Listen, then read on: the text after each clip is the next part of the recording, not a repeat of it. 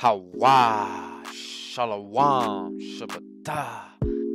This is part 7 of the Hebrew Aboriginal Copper Colored Tribes of America. Yeah, so we're just going to continue to show a little bit more correlation. We're going to focus on certain things, of course, uh, in this part. I hope you guys like it. Because we just talking Jehowashi, Jehowashi, Jahawashi. All right the history the history that has been erased in our nation, and in particular with the Native Americans, happened because it didn't fit the story they created, Manifest Destiny. It only works when Indians were savages, and they had to have savages for commerce and government to expand. The ancient artifacts prove otherwise. Why aren't we looking into them? History of the American Indian by James Adair. Now, let us now turn to the copper-colored American Hebrews. Again, now, I didn't know this was here. Alright, but you know, this is what's this video called? Hebrew Aboriginal Copper Colored Tribes of America. So, in the book History of the American Indian by James Adair, he says, Let us now turn to the copper colored American Hebrews. While their sanctified new fruits are dressing, a religious attendant is ordered to call six of their old beloved women to come to the temple and dance the beloved dance with joyful hearts, according to the old beloved speech. They cheerfully obey and enter the supposed holy ground in solemn procession, each carrying in her hand a bundle of small branches of various green trees. And they join the same number of old magi, or priests, who carry a cane in one hand adorned with white feathers, having likewise green bows in their other hand, which they pulled from their holy arbor and carefully placed there, encircling it with several rounds. Those beloved men have their heads dressed with white plumes, but the women are decked in their finest and anointed with bear's grease, having small tortoise shells with white pebbles fastened to a piece of white dressed deerskin which is tied to each of their legs. The eldest of the priests leads the sacred dance, ahead of the innermost row, which of course is next to the holy fire. He begins to dance around the supposed holy fire by invoking Jah, after their usual manner on a bass key and with a short accent. Then he sings Yo Yo, which is repeated by the rest of the religious procession. And he continues his sacred invocations and praises, repeating the divine word or notes till they return to the same point of the circular course, where they begin then he, he, in like manner, and wa, wa, he, wa, he, wa, ha, wa, ha, wa, right? He, he, wa, wa, ha, ha, wa, wa, ha, wa, ha, wa.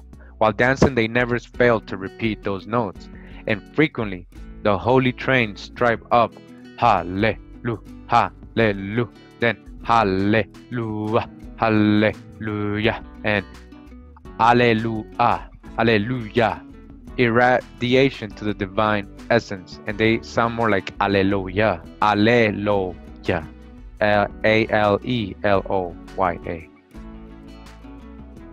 With great earnestness and fervor till they encircle the altar while each strikes the ground with right and left feet very quick but well timed. Then the awful drums join the sacred chord which incite the old female singers to chant forth their pious notes and great grateful praises before the divine essence, and to redouble their former quick joyful steps in imitation of the leader of the sacred dance, and the religious man ahead of them. What with the manly strong notes of the one and the shrill voices of the other, in concert with the beat shells and the two fountain drum like earthen vessels, which the voices of the musicians who beat them the reputed holy ground echoes with the praises of Jehovah. Their singing and dancing in three circles around their sacred fire appears to have a reference to a like religious custom of the Hebrews. And may we not reasonably suppose that they formally understood the psalms or divine hymns? At least those that begin with Alleluia Otherwise, how come all the inhabitants of the extensive regions of North and South America to have and retain those very expressive Hebrew words? All right, you hear what James Adair is telling you, right? How come it's so extensive throughout the North and South America? All mo- much of the eh, tribes, he's saying, say Hallelujah, Hallelujah, Hallelujah, right? Or how repeat them so distinctly and apply them after the manner of the Hebrews in their religious acclamation. So it's not only that they're just randomly saying it, they're using it significantly in their religious acclamations, just like the Hebrews did. All right?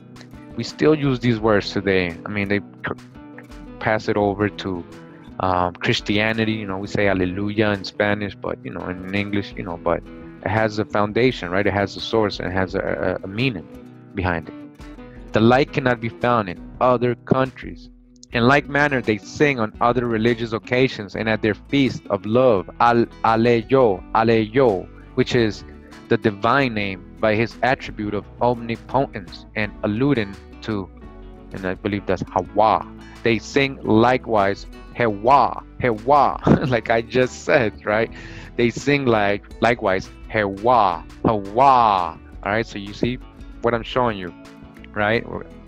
Which is, and it shows there the you know the Assyrian Jewish Hebrew, the immortal soul drawn from the divine essential name, as deriving its rational faculties from Yahweh those words that they sing in their religious dances, they never repeat at any other time, which seems to have greatly occasioned the, lo- the loss of the meaning of their divine hymn. For I believe they are now so corrupt as not to understand either the spiritual or literal meaning of what they sing, any further than by allusion.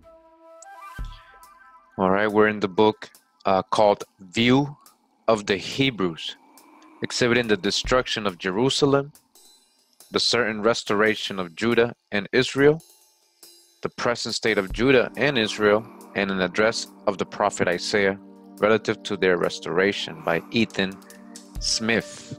All right. And we're going to read from chapter 3, the present state of Judah and Israel. Right? The present state in his time, right? What he's saying is the present state of Judah and Israel. All right. And we read in page 76, it says, Let several suppositions now be made. Suppose an extensive continent had lately been discovered, right? Let's suppose, right? Let's let's let's go with Ethan Smith and let's suppose, right? Quotes, quotes. Away northeast from Media and at the distance of a year and a half journey. So he's describing the journey of uh, and described in Esdras, right, of the ten lost tribes how it took them uh, a year and a half to get to Arsareth, Arsareth, Arizona, Arsareth. Hmm, sounds similar. A, a, a place probably destitute of inhabitants since the flood till the time of the casting out of Israel. Suppose a people to have been lately discovered. Hmm, a people that has been lately discovered. Hmm.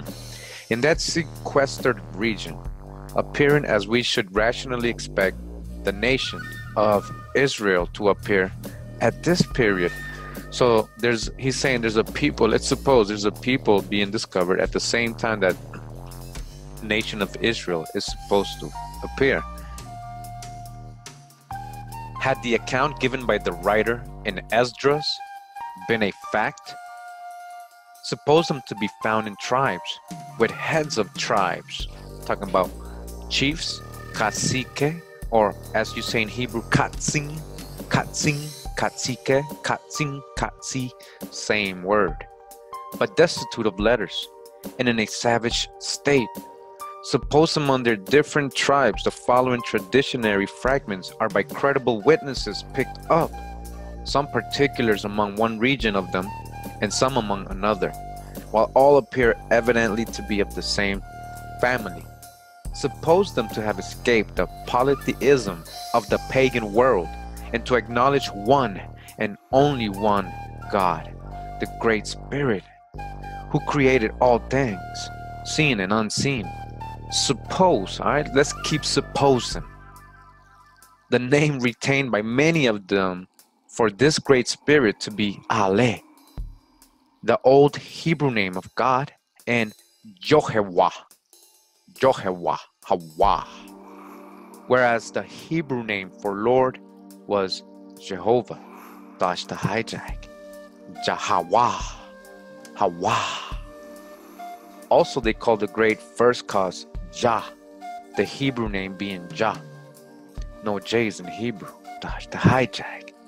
Suppose you find most of them professing great reverence for this great Jehovah, calling him the great, beneficent, supreme, Holy Spirit, and the only object of worship, the only, only one Savior, right? Isaiah 43.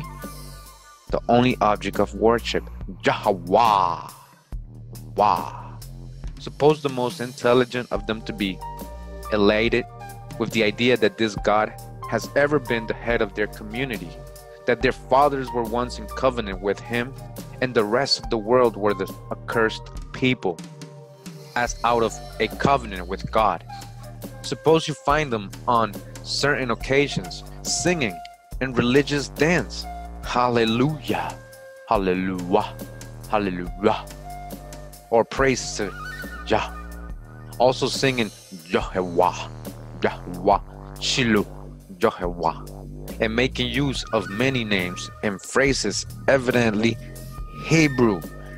Let's keep supposing. Who is he talking about? You find them counting their time as did ancient Israel, and in a manner different from all other nations. They keep a variety of religious feasts, which must resemble those kept in ancient Israel. You find an evening feast among them, in which a bone of the animal must not be broken. If the provision be more than one family can eat, a neighbor must be called in to help eat it and if any of it be still left, it must be burned before the next rising sun. You find them eating bitter vegetables to cleanse themselves from sin. You find them never eat the hollow of the thigh of any animal. They inform that their fathers practice circumcision. Some of them have been in the habit of keeping a jubilee. They have their places answering to the cities of refuge in ancient Israel, and these no blood is ever shed by any avenger. You find them with their temples, such as they be, their holy of holies in their temple, into which it is death for a common person to enter. They have their high priest, khans, who officiate in their temples and make their yearly atonement. They're in a singular pontifical dress, which they fancy to be in the likeness of one worn by their predecessors in ancient times, with their breastplate and various holy ornaments.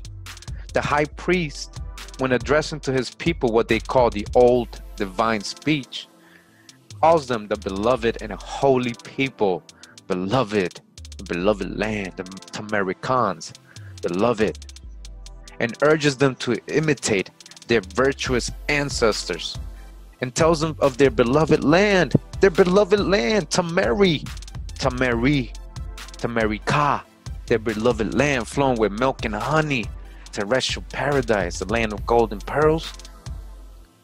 Thank you, Khan Drop, for the drop. Beloved land, to Tamari, they tell you that Yohewa, Yahweh, Hawa once chose their nation from all the rest of mankind to be his peculiar people, that a book which God gave was once theirs, and then things went well with them. But other people got it from them, and then they fell under the displeasure of the Great Spirit. They fell. Deuteronomy 28. But that they shall at some time regain it they inform you some of their fathers once had the spirit to foretell future events and to work miracles. Suppose they have their imitation of the Ark of the Covenant, where are deposited their most sacred things, into which it is death for any common people to look. All their males must appear at the temple at three noted feasts in a year they inform you of the ancient flood, the ancient flood, of the preservation of one family in a vessel, of this man in the ark sending out first a great bird and then a little one, to see if the waters were gone, that the great one returned no more, but the little one returned with a branch. They tell you of the confusion of languages, once when people were building a great high place, and of the longevity of the ancients, that they lived till their feet were worn out with walking, and their throats with eating. All right, talking about antediluvians. You find them with their traditional history, that their ancient fathers once lived where people were dreadfully wicked, and that nine tenths of their fathers took counsel and left that wicked place, being led by the Great Spirit into this country out of Egypt, bondage, that they came through a region where it was always winter, snow and frozen, that they came to a great water, and their way hither was thus obstructed, till God dried up that water. Probably it froze between the islands and Bering Strait. He's saying probably. Let's dodge the hijack. You find you find them keeping an annual feast at the time their ears of corn become fit for use, and none of their corn is eaten till a part of it is brought to this feast, and certain religious ceremonies performed. You find them keeping an annual feast in which 12 men must cut 12 sapling poles to make booth. Here, on an altar made of 12 stones, on which no tool may pass, they must sacrifice. You find them with the custom of washing and anointing their dead. And when in deep affliction, laying their hand on their mouth and their mouth in the dust. Suppose you should find things like these among such a people without books or letters, but wholly in a savage state in a region of the world lately discovered, away in the direction stated by the aforenoted writer in the Apocrypha, hidden or secret books, forbidden for the normal people. Remember the etymology? And having been ever secluded from the knowledge of the civilized world. Would you hesitate to say you had found the 10 tribes of Israel? All right, so Ethan Smith, he had us supposing, right? He had us imagining. So he read out all those traits, all those things he found that are in common, right? With what we would know as, you know, the tribes of Israel or Hebrews, right? Doing, practicing, living, you know, living in that way. All right, so again, would you hesitate after hearing all that to say you had found the 10 tribes of Israel? I'm asking you right now, hearing right now. And that God sent them to that sequestered region of the earth to keep them there a distinct distinct people during an outcast state of at least 2500 years would you not say we have just such kind of evidence as must at, at last bring that people to light among the nations huh He's asking you. And would you not say, here is much more evidence of this kind, of their being the people of Israel, than could rationally have been expected after the lapse of 2,500 years in a savage state, dodged the hijack, high civilization. Methinks I hear every person whisper his full assent that upon the suppositions made, we have found the most essential pile of the prophet Ezekiel's valley of dry bones. Those things are more than mere supposition. It's not supposition, people. It is believed they are capable of being ascertained as facts with substantial evidence. If we haven't shown you enough, there's still much more evidence to show. Good authorities from men who have been eye and ear witnesses, people who lived among them, assure us that these things are facts but you inquire where or who are the people thus described. They are the aborigines of our own continent. We're talking about he's in America, all right? Who are you talking about, man? Just tell us. They are the aborigines of our own continent, the aboriginal copper colored tribes of America, right?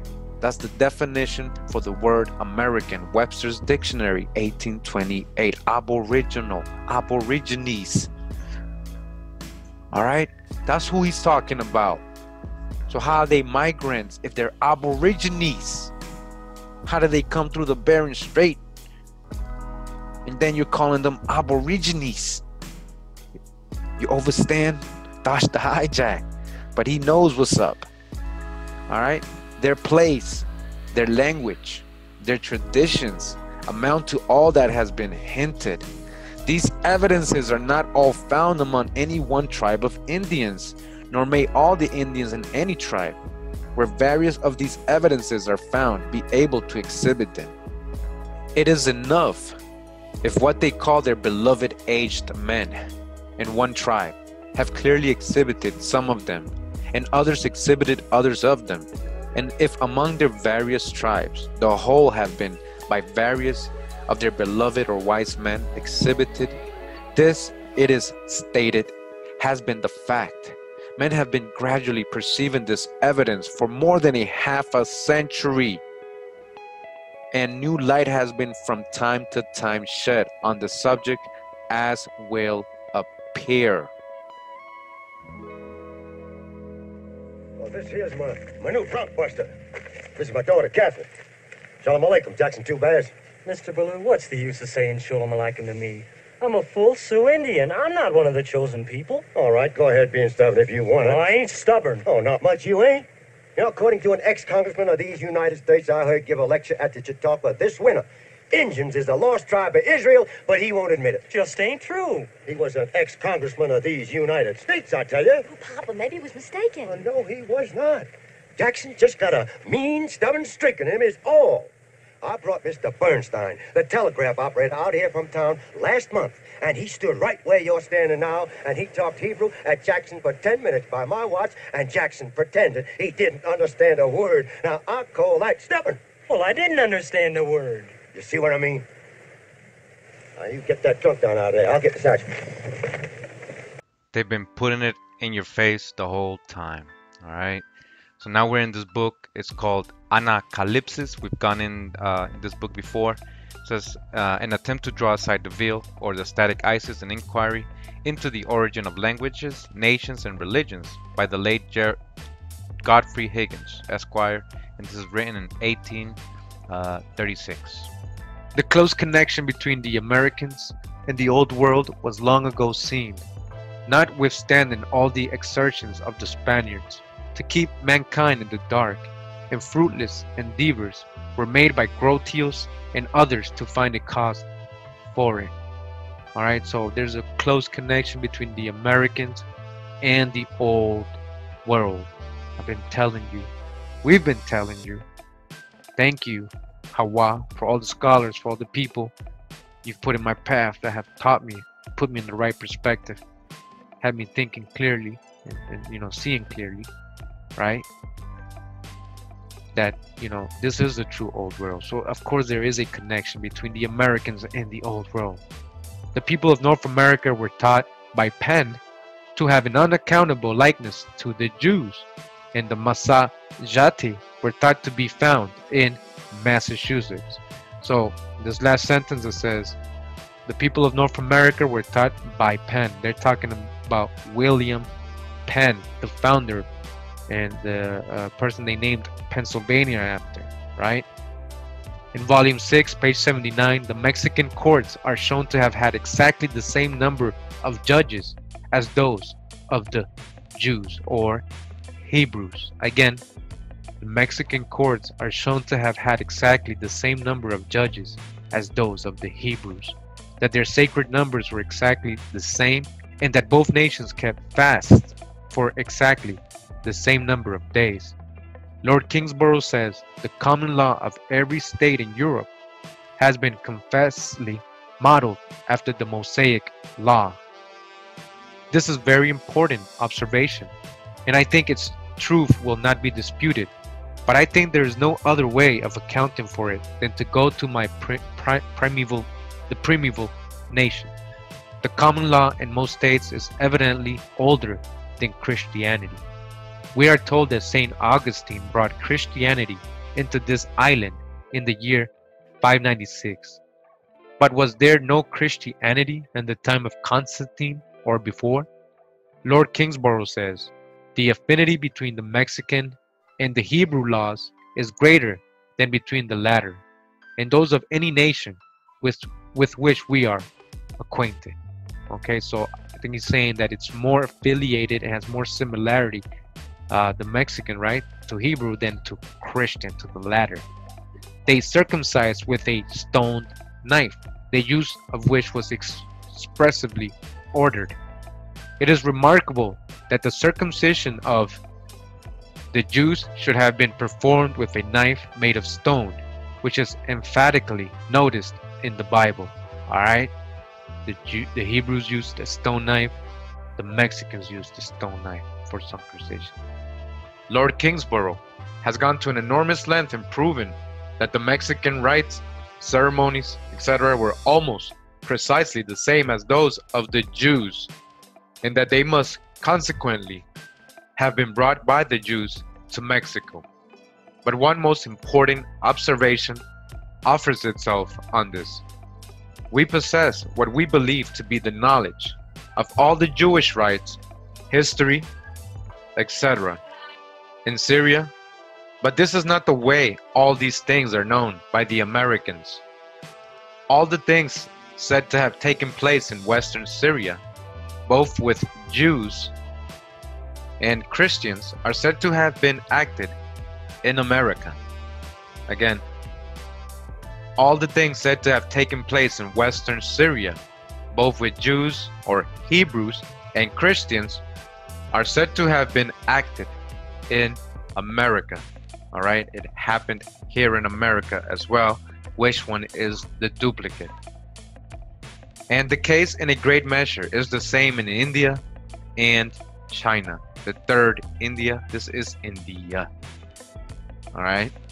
There is the same standing still of the sun, the same populi fugia, the same deluge and person saved in a ship, the same immaculate conception, the same crucifixion and resurrection, but they were all in the American country, not in Syria.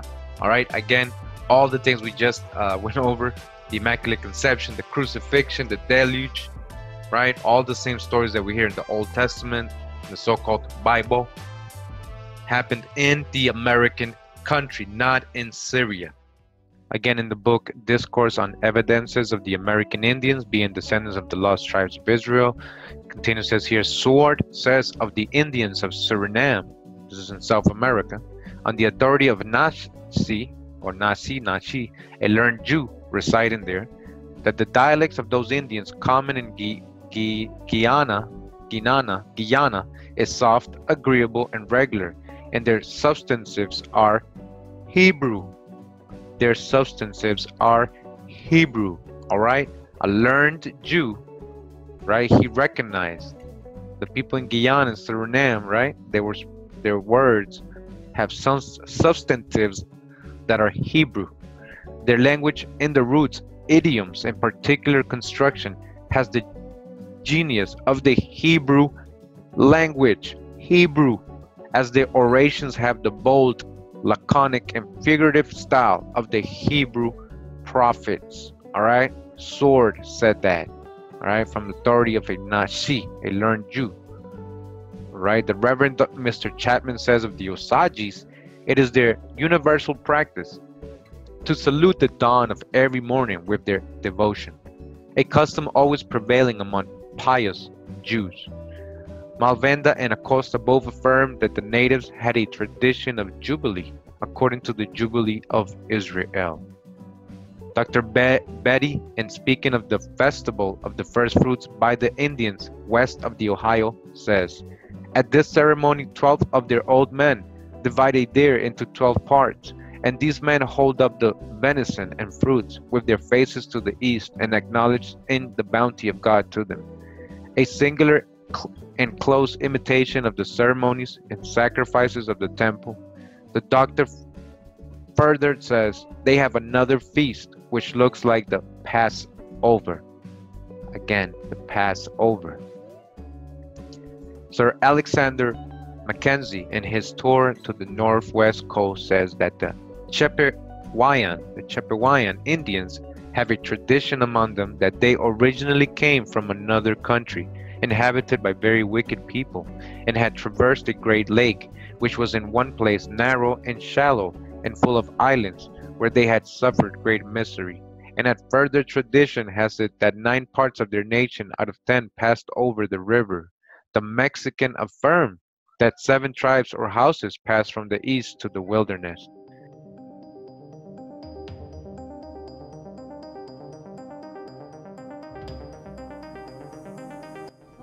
Others of the era, he had a theory regarding the identity of the people who built these great monuments.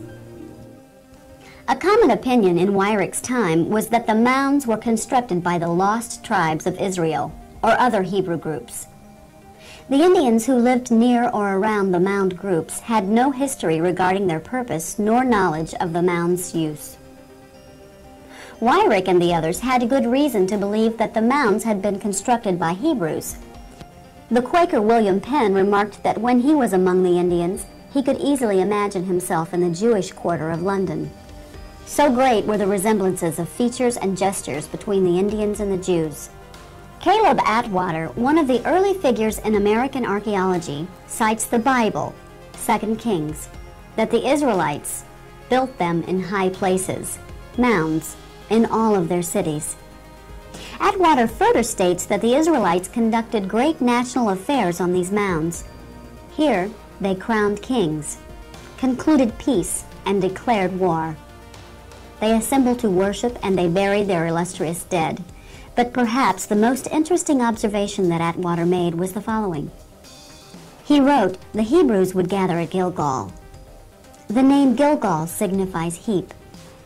Here was a pile of stones brought up from the river Jordan and piled up when they encamped for the first night on their journey to the Promised Land. Let the reader examine similar piles of stone on the waters of the Licking near Newark, Ohio. who were the mound builders. Everybody had an opinion. And David's opinion agreed with a lot of other people, although it was ridiculed, and that is that they were at least descendants of the uh, lost tribes of Israel. Because after all, the Indians were savages and they could not have built geometric works such as these. So when David discovered stones with Hebrew on them, then the trouble began to do a chronology on the events relative to the discovery of the Holy Stones of Newark, you need to start with the fact that David Wyrick was an amateur archaeologist. And he had apparently retired somewhere in 1858, 1859. And this puts us into June of 1860 when he and his son were digging in McCrory's Woods, which is near the Octagon Mound in Newark, Ohio. It was there that they found buried in a pit there, what has come to be called, because a newspaper reporter said it was that, a holy stone. It had characters on it. It was identified and looked at by a number of people in Newark, including the mayor of the town, who was really quite a scientist. Uh, Charles Whittlesey, the founder of the Western Reserve Historical Society and Ohio's foremost archaeologist at the time, and the local Episcopal clergyman, who really rather quickly translated it. It caused all kinds of excitement. In fact, the story is they formed a committee and everybody went out and started digging for some more of them and probably destroyed uh, more archaeological stuff as a result of finding this than anything else that went on. And there was much excitement because there was much interest in, in determining the history of the people that built these mounds and earthworks. And so far as anyone knew prior to that, they had no history. Nothing was written down. There were no languages. This was an interesting find because it had a written language inscribed into it, and it was Hebrew. And many people at that time, including David Wyrick, were trying to prove that these mounds and earthworks had been built by the lost tribes of Israel or, or other Hebrew groups. That got some attention, David was invited to Cincinnati by the reporter. There, he was, it was first denounced. Denounced by a Hebrew scholar as being too modern Hebrew, denounced by a foremost uh, sculptor, uh, Jones, who sculpted the bust of Lincoln, who said, ha, just adorn, anybody could make that. So David spent his only $19 on the trip and didn't get anything in recompense, came home, but he did strike up some friendships because he was encouraged, I think, by Dr. Unzicker to go down to near Jacksontown and look at the, at the site that had once been the Great Stone Mound, where there were a number of mounds, one of which had been opened in 1850 by local farmers. They, when David got there, there was a, a wooden coffin.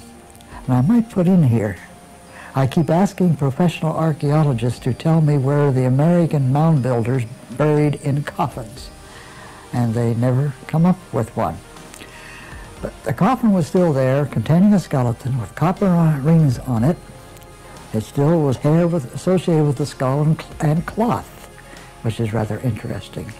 David brought the coffin home, and it was lost to history. That was in early July. He went back again in November with another digging party, and they were digging, as David said in his letter, to see if it would hold water, the clay basin that was there. This was clay that was brought in. It was apparently clay brought in from the uh, strip mine, what we call the strip mine area, the coal mine areas of Ohio. It was there that he uncovered the stone box that contained the Decalogue stone. All right, so this is Interstate 70, which runs through the heart of what used to be the Great Stone Mound, which was the largest uh, mound in the Ohio Valley. Uh, it was about 55 feet tall, about 200 uh, feet in the base. It looked like a pyramid from, you know, far away. Um, they started, you know, taking down, you know, this mound piece by piece. It was made of boulders, you know, hard rock boulders, and they started taking it down in 1855 as you can see here they found all these little mounds uh, inside of it and in one of these individual mounds I believe oh they show you right here is where they found um, the Decalogue stone uh, inside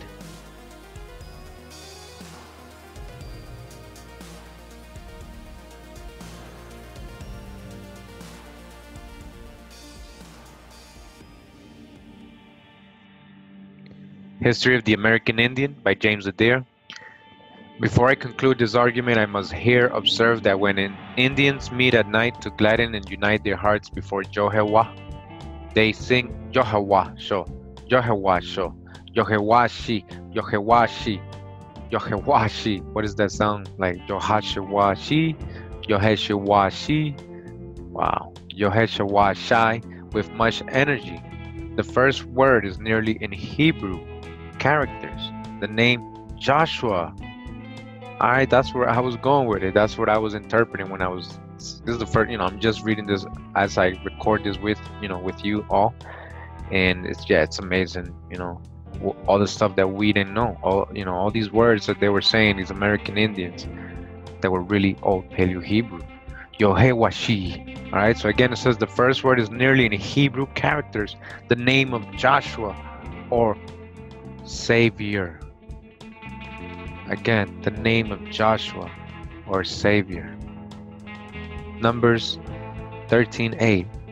That is properly expressed by our double vowel o Let it be observed that as is a ruler or commandant, so the Indians say bole hak se, strike a person that is criminal. In like manner they sing meshi yo, meshi yo, meshi he, meshi he, meshi wa. Meshiwa. Likewise, Meshi ha yo and Meshiwa ha Meshiwa he, transposing and accenting each syllable differently so as to make them appear different words. But they commonly make those words end with one syllable of the divine name, Jehovah. If we connect this with the former part of the subject and consider they are commonly anointed all over in the time of their religious songs, and cir circuiting dances, the words seem to glance at the Hebrew original, and perhaps they are sometimes synonymous for signifies oil, the person anointed, or Meshiach. Meshiach. And he who anointed, he who is anointed, which is with the Indians, is Meshiha. Meshiha. Meshiach. Meshiha. And where do we get all this Meshi, Mexico, Mexican, We're talking about Moses, Meshi, Moses, Moshek, Meshech. Who were the real Meshechs? What does Meshech really mean? Deliverer, right? Savior, as it says here.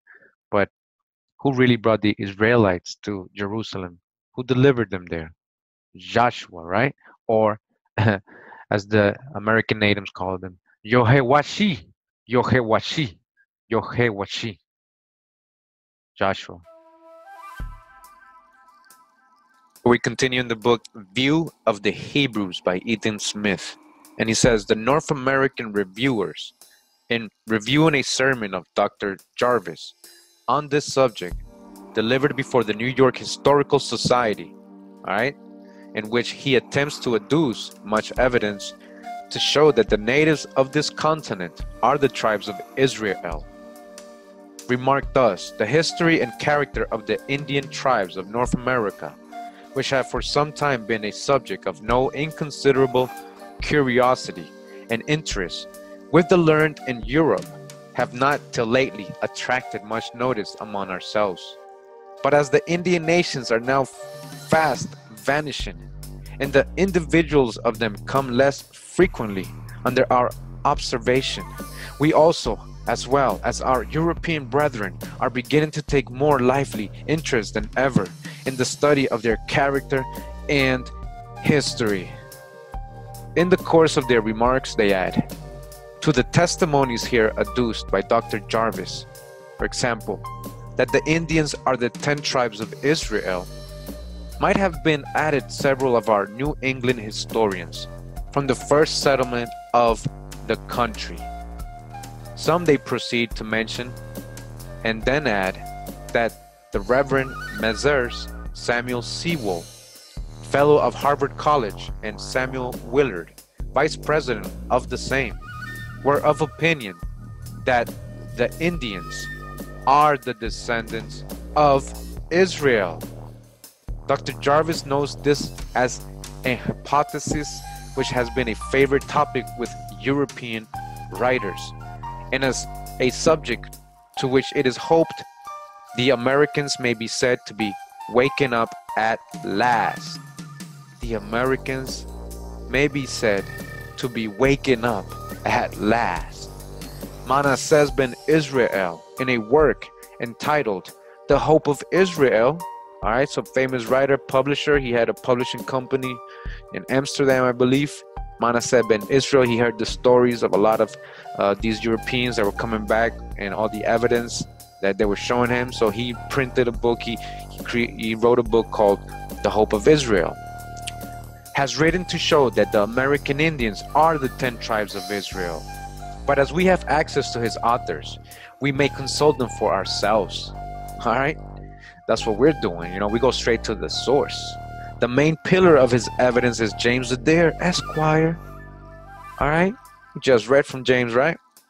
Mr. Adair was a man of established character, as appears from good authority. He lived a trader among the Indians in the south of North America for 40 years.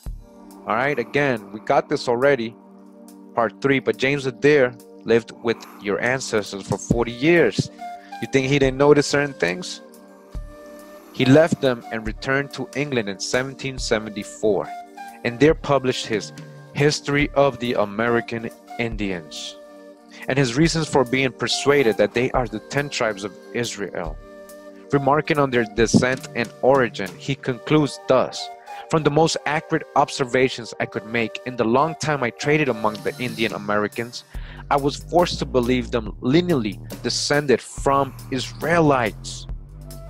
Had the nine tribes and a half of Israel that were carried off by Shalmaneser and settled in Media continued their long, it is very probable by intermarrying with the natives and from their natural fickleness and promptness to idolatry, and also from the force of example that they would have adopted and bowed before the gods of Media and Assyria, and would have carried them along with them. But there is not a trace of this idolatry among the Indians. There's no trace of idolatry among your ancestors. You understand? You had one, one creator, one great spirit. Alright? Elijah Wana, Hawa. Mr. Adair gives his opinion that the ten tribes, soon after their banishment from the land of Israel, left Media and reached this continent from the northwest, probably before the carrying away of the Jews to Babylon. All right, so they're always trying to figure out how you got here because they can't phantom in their mind that this is the true old world in their time they're still in hijack doctrine mode all right a summary will be given of the arguments of mr adair and of a number of other other writers on this subject as the evidence given by mr adair appears in some respect the most momentous and conclusive i shall adduce a testimonial in his behalf in the star in the west published by the honorable elias Boudinot, LLD, upon this subject that venerable man says, the writer of these sheets has made a free use of Mr. Adair's history of the Indians, which renders it necessary that something further should be said of him. Something about the year 1774, Mr. Adair came to Elizabethtown, where the writer lived, with his manuscript and applied to Mr. Livingston, afterward governor of New Jersey, a correct scholar, requesting him to correct his manuscript.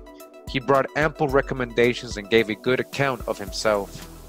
Our political troubles with Great Britain then increasing, it being the year before the commencement of the Revolutionary War, Mr. Adair, who was on his way to Great Britain, was advised not to risk being detained from his voyage till the work could be critically examined but to set off as soon as possible. He accordingly took his passage in the first vessel bound to England.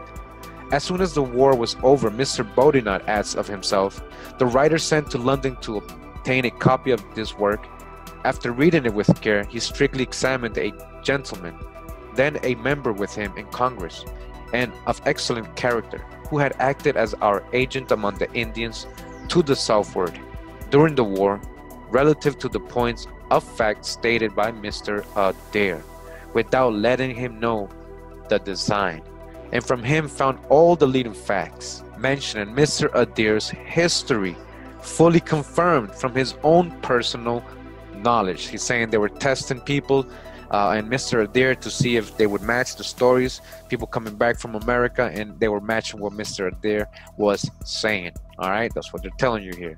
Here are the evidences of two great and good men most artlessly uniting in the leading facts stated by Mr. Adair, the character of Mr. Boudinot, who was for some time president of the American Bible Society, is well known. He was satisfied with the truth of Mr. Adair's history and that the natives of our land are the Hebrews, the ten tribes, and he hence published his Star in the West on this subject, which is most worthy of the per- perusal of all men.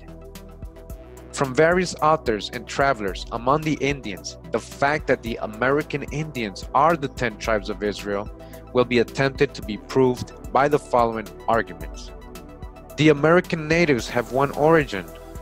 Their language appears to have been Hebrew. Their language appears to have been Hebrew. They have had their imitation of the Ark of the Covenant in ancient Israel. They have been in the practice of circumcision. They have acknowledged one and only one God. The variety of traditions, historical and religious, go to evidence that they are the ten tribes of Israel. The celebrated William Penn gives accounts of the natives of Pennsylvania, which go to corroborate the same point. And we got that, right? We got his actual letter and we got the history of Lancaster County stating what William Penn said about the Indians and the similarity he sees with them and the Hebrews he knows in England. There, having a tribe answering in various respects to the tribe of Levi sheds further light on this subject. Several prophetic traits of character given of the Hebrews do accord, accurately apply to the Aborigines of America. Again, this applies to the Aborigines of America, not Native Americans. That's why they're always like, we don't have no Hebrew history. That's what they tell me in their comments. They get all mad at me. They, they're not overstanding. This is only accurately applied to aborigines of America. All right? 10. The Indians being in tribes with their heads and names of tribes afford further light upon this subject. Their having an imitation of the ancient city of refuge evinces the truth of our subject. Other Indian rites and various other considerations go to evince the fact that these people are the ten tribes of Israel. And that's when they uncovered the famous Decalogue stone, a black piece of slate, actually it's alabaster, but there's alabaster all over the world. Uh, very soft, black sandstone with a priestly figure and characters on every single surface. A few of these letters look like standard Hebrew, but most of them don't. But uh, working from the clue that a few of them look like standard Hebrew, uh, John McCarty, again, that was uh, Episcopalian uh, minister in uh, Newark, was able to decipher the rest of the letters and um, discover that the the text here is basically the an abridged version of the Ten Commandments or Decalogue, uh, written in Hebrew language, but in this funny alphabet. And over the head of this uh, robed and bearded figure is uh, is the name Moshe or Moses in, in Hebrew. So presumably this is Moses um, uh, giving the Ten Commandments. Well, the um, alphabet that's used on the Decalogue stone is actually one of its most interesting um, peculiarities. Uh, well, this uh, chart shows compares the standard Hebrew alphabet to the alphabet that appears on the Decalogue stone. Uh, this column here is the, or basically standard Hebrew letters, and these are the Decalogue letters. About half the letters here are basically standard Hebrew. You can see the bet is basically the same, the dalet is basically the same, the hey is basically the same, and so forth. But um, perhaps half of the letters are um, uh, very unusual in fact, uh, essentially unknown as, as Hebrew. Personally, I'm, um, wouldn't be interested in these things if I didn't think they had a very good chance of being authentic. Uh, I'm not a Hebrew scholar myself, but I've, uh, these things have gotten me interested enough that I've learned a little bit about the Hebrew alphabet and something about the history of the Hebrew alphabet. Frankly, I think that Newark, Ohio, at one time, was sort of a Mecca or Jerusalem kind of place a place to which one would come for great religious events, a place to which one would bring the remains of the famous people, just as we will take people to Rome to bury them in St. Peter's Basilica. I think people were brought here, and that these are perhaps mementos or talismans or something associated with famous people. History of the American Indians by James Adair, he says that these red savages formerly understood the radical meaning and emblematical design of the important words they use in their religious dances and sacred hymns is pretty obvious. If we consider the reverence they pay to the mysterious divine name Yahweh in pausing during a long breath on each of the two first syllables. So he's saying Yo He Wah. They're defining good by joining wa to the end of the word, which otherwise expresses moral evil as before noticed, and again by making the same word a negative of good by separating the first syllable of that divine name into two syllables and adding you as a superlative termination you. All their sacred songs seem likewise to illustrate it very clearly. Hallelujah, Shilu wa, Meshi wa, Meshi ha yo, the words which they repeat in their divine hymns while dancing in three circles around their supposed holy fire, a deemed so sacred that they have not been known ever to mention them at any other time. And as they are a most erect people, their bowing posture during the time of those religious acclamations and invocations help to confirm their Hebrew origin. All right, helps to confirm their Hebrew origin.